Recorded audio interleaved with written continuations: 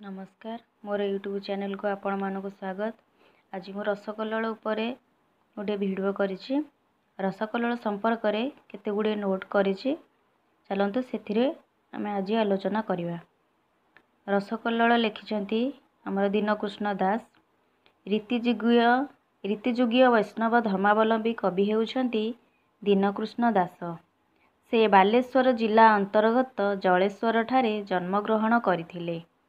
ଏହି କାବ୍ୟଟିକୁ ରସକଲ୍ଲୋଳ କାବ୍ୟଟିକୁ କ ଆଦ୍ୟ ଅକ୍ଷର ନିୟମରେ ସେ ରଚନା କରିଛନ୍ତି। ଏହି କାବ୍ୟଟି ସମୁଦାୟ ଚଉତିରିଶ ଛାନ୍ଦ ବିଶିଷ୍ଟ ଓ ବୈଦର୍ଭୀ ରୀତିରେ ରଚିତ।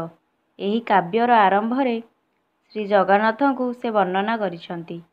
ଏହି କାବ୍ୟରେ ଶ୍ରୀକୃଷ୍ଣଙ୍କ ବାଲ୍ୟ ପୌଗଣ୍ଡ ଓ କୈଶୋର ଅବସ୍ଥାର ବର୍ଣ୍ଣନା କରିବା ସହିତ ଗୋପୀ କୃଷ୍ଣ ଓ ରାଧାକୃଷ୍ଣ ଲୀଳା ବର୍ଣ୍ଣନା କରିଛନ୍ତି। ରସକଲ୍ଲୋଳ କାବ୍ୟକୁ ରାଜା ଦିବ୍ୟସିଂହ ଦେବ ନିଜ ନାମରେ ଭଣିତା କରିବା ପାଇଁ ଦୀନକୃଷ୍ଣ ଦାସଙ୍କୁ ଆଦେଶ ଦେଇଥିଲେ। ମାତ୍ର କବି ଏହାକୁ ସ୍ୱୀକାର କରିନଥିଲେ।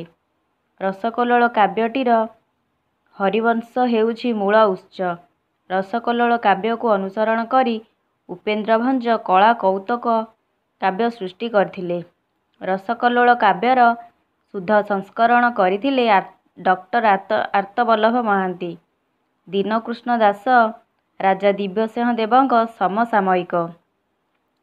ଆଧ୍ୟାତ୍ମିକ ଭାବନା ଓ ଚେତନା ଦୃଷ୍ଟିରୁ ଦୁଇ ଦୀନକୃଷ୍ଣ ଯେ ଦୁଇ ସ୍ୱତନ୍ତ୍ର ବ୍ୟକ୍ତି ଏଥିରେ ସନ୍ଦେହ ନାହିଁ ଏହି ଉକ୍ତିଟି ସୁରେନ୍ଦ୍ର ମହାନ୍ତିଙ୍କର। ସେ ଏହା କହିଥିଲେ ଦୀନକୃଷ୍ଣ ଦାସ ଦୁଇ ଜଣ ନୁହେଁ ଜଣେ ଏହା ଡକ୍ଟର ଆର୍ତ୍ତବଲ୍ଲଭ ମହାନ୍ତି କହିଥିଲେ। The Rasakallola or waves of delight is the most popular poem in Odisha ଏହା ଜନ୍ ବିମ୍ସ କହିଥିଲେ। ରସକଲ୍ଲୋଳ ସମ୍ପର୍କରେ ପ୍ରଥମେ ଜନ୍ ବିମ୍ସ ଜଣେ ବିଦେଶୀ ଆଲୋଚକ ଆଲୋଚନା କରିଥିଲେ। ଐତିହାସିକ ବିନାୟକ ମିଶ୍ର ରସକଲ୍ଲୋଳକୁ ଗୀତଗୋବିନ୍ଦ ସହ ତୁଳନା କରିଛନ୍ତି। ରସକଲ୍ଲୋଳର ପ୍ରଥମ ଛାନ୍ଦଟି ଆଦ୍ୟପ୍ରାନ୍ତ କ ନିୟମରେ ରଚିତ। ଏହି କାବ୍ୟର ପ୍ରଥମ ଛାନ୍ଦରେ ପୁରୀକୁ କମ୍ବୁକଟକ ବୋଲି କୁହାଯାଇଛି। କବିତା ବନିତା କବିତା ପିତା ଏହା ଚଉତିରିଶ ଛାନ୍ଦରେ ବର୍ଣ୍ଣିତ। ନବମ ଛାନ୍ଦରେ କବି ପ୍ରଥମେ ରାଧା ନାମ ବ୍ୟବହାର କରିଛନ୍ତି। ଅଷ୍ଟାଦଶ ଛାନ୍ଦରେ କଂସର ବଧ ବର୍ଣ୍ଣନା କରିଛନ୍ତି। ରସକଲ୍ଲୋଳର ଦ୍ୱିତୀୟ ଛାନ୍ଦଟି ରସକଲ୍ଲୋଳର ଦ୍ୱିତୀୟ ଛାନ୍ଦଟି ଚୋଖୀ ରାଗରେ ରଚିତ। ଦ୍ୱିତୀୟ ଛାନ୍ଦରେ ଶ୍ରୀକୃଷ୍ଣଙ୍କ ଜନ୍ମ ଓ ନାମକରଣ ବର୍ଣ୍ଣନା ହୋଇଛି। କୁଶ କୁଶକେତୁ ଶବ୍ଦର ଅର୍ଥ ହେଉଛି ବ୍ରହ୍ମା। ବ୍ରହ୍ମା ପୃଥିବୀର ଦୁଃଖ ବିଷ୍ଣୁଙ୍କୁ ଜଣାଇଥିଲେ। ଭଗବାନ ବିଷ୍ଣୁଙ୍କ ଛାତିରେ ଶ୍ରୀବତ୍ସ ପଦାଘାତ କରିଥିଲେ। ପ୍ରହ୍ଲାଦଙ୍କ ପୁତ୍ର ହେଉଛନ୍ତି ବଇଲୋଚନ କାମପାଳ ହେଉଛନ୍ତି ବଳରାମ। ବଳରାମ ଓ ଶ୍ରୀକୃଷ୍ଣଙ୍କୁ କବି ଦୀନକୃଷ୍ଣ ଗଙ୍ଗା ଯମୁନା ସହିତ ତୁଳନା କରିଛନ୍ତି।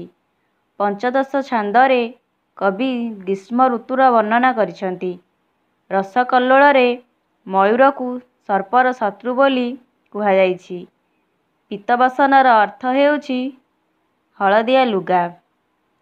ବଡ଼ାଇର ଅର୍ଥ କ'ଣ? ବଡ଼ାଇର ଅର୍ଥ ହେଉଛି ଗର୍ବ। ରସକଲ୍ଲୋଳ ଆଦ୍ୟ କ ବର୍ଣ୍ଣରେ ରଚିତ।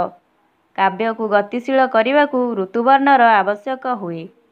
ଗୋପାଙ୍ଗନାମାନଙ୍କର ଜଳକ୍ରୀଡ଼ା ଓ ବସ୍ତ୍ରହରଣ ପଞ୍ଚଦଶ ଛାନ୍ଦରେ ବର୍ଣ୍ଣନା କରାଯାଇଛି। ରସକଲ୍ଲୋଳର ପଞ୍ଚଦଶ ଛାନ୍ଦଟି ବସନ୍ତ ବରାଡ଼ି ରାଗରେ ରଚିତ। ଷୋଡ଼ଶ ଛାନ୍ଦରେ କବି ବର୍ଷା ଋତୁର ବର୍ଣ୍ଣନା କରିଛନ୍ତି। ଷୋଡ଼ଶ ଛାନ୍ଦଟି ପାହାଡ଼ିଆ କେଦାର ରାଗରେ ରଚିତ। ରସକଲ୍ଲୋଳକୁ କୁଟିଳ ବୁଦ୍ଧିରେ ବିନାଶ କଲେ ଶ୍ରୀକୃଷ୍ଣ ଦଣ୍ଡ ଦେବେ ବୋଲି କବି କହିଛନ୍ତି। କୁହୁଡ଼ି ହେବା ଦ୍ୱାରା ପଦ୍ମବନ ନାଶ ହୁଏ।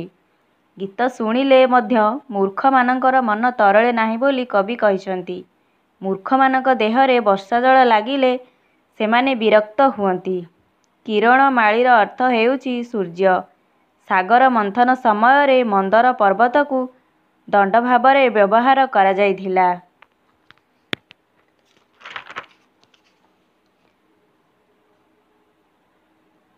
ରସକଲ୍ଲୋଳର ଚଉତିରିଶତମ ଛାନ୍ଦରେ କବି ଉଦ୍ଧବ କୃଷ୍ଣଙ୍କ ନିକଟରେ ଗୋପାଙ୍ଗନାମାନଙ୍କର ବିରହ ଦଶା ବର୍ଣ୍ଣନା ସମ୍ପର୍କରେ ଉଲ୍ଲେଖ କରିଛନ୍ତି। ଚଉତିରିଶତମ ଛାନ୍ଦଟି ବରାଡ଼ି ରାଗରେ ରଚିତ। କୁଝଟିର ଅର୍ଥ ହେଉଛି ଶୀତ। କୃଷ୍ଣ ବିରହରେ ଗୋପୀମାନଙ୍କ ମନରେ ବିଷାଦ ଭରିଯାଇଛି। କନ୍ଦର୍ପର ନଅଟି ଦଶା ସମ୍ପର୍କରେ କବି ଉଲ୍ଲେଖ କରିଛନ୍ତି। କନ୍ଦର୍ପର ରତିକ୍ରୀଡ଼ା ହେଉଛି ପ୍ରଥମ ଦଶା। କ ଅକ୍ଷରେ ହୋଇଛି ନିୟମ କଥା ନୁହେଁ ଦିବ୍ୟ ଅଦିବ୍ୟ ସମ। ଏହା ତେତିଶତମ ଛାନ୍ଦରେ ବର୍ଣ୍ଣିତ। କବି ହୋଇ କରୁଥିବ ନିର୍ମଳ କବିତ୍ୱ ଏହା ସପ୍ତମ ଛାନ୍ଦରେ ବର୍ଣ୍ଣିତ। କବି ଯା କରେ ମୂର୍ଖକୁ ସ୍ତୁତି ଏଥିରୁ ନାହିଁ ବଡ଼ ବିପତ୍ତି। ଏଠାରେ ରାଜାଙ୍କୁ ମୂର୍ଖ ବୋଲି କୁହାଯାଇଛି। ପୁରୁଷ ତମେ ଯାର ବାସ ତାର ନାମ କୃଷ୍ଣ ଦାସ ଜାତିରେ ଅଟଇ କରଣ ପଣ୍ଡିତ ବିବେକ ସୁଜାଣ। ଏହି ଉକ୍ତିଟି ରାମଦାସଙ୍କର ଅଟେ। କବିତ୍ୱ ବନିତା କବିତା ପିତା କରିବା ଲୋକ ତାର ଉପମାତା। ଏଠାରେ ବନିତା ଓ ଉପମାତାର ଅର୍ଥ ହେଉଛି ସ୍ତ୍ରୀ ଓ ସାବତ ମା'। କମ୍ପାରେଟିଭ ଗ୍ରାମାର ଗ୍ରନ୍ଥରେ ଜନ୍ ବିମ୍ସ ରସକଲ୍ଲୋଳରୁ କେତେକ ପଦାବଳୀ ଉଦ୍ଧାର କରି କବି ଦୀନକୃଷ୍ଣ ଦାସଙ୍କର ପ୍ରଶଂସା କରିଥିଲେ। ଏତିକି ଥିଲା ଆଜିର ଆଲୋଚନା।